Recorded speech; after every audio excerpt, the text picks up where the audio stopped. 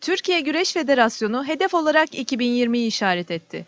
Özellikle son dönemlerde gelen başarılarla birlikte hedef büyüten Federasyon Başkanı Musa Aydın iddialı açıklamalarda bulundu.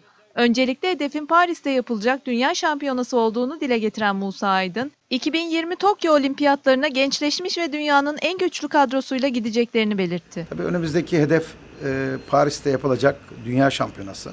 Her yıl Avrupa, Dünya ama tabii güreşte ve sporda en büyük hedef e, olimpiyatlardır. E, hedefimiz 2020 Tokyo Olimpiyatlarda ülkemizi başarıyla temsil etmek ve 2020'de dünyanın en güçlü takımını kurarak hem Greco-Romen'de hem serbestte hem bayanlarda dünyanın en güçlü takımlarını kurarak olimpiyatlara katılacağız inşallah.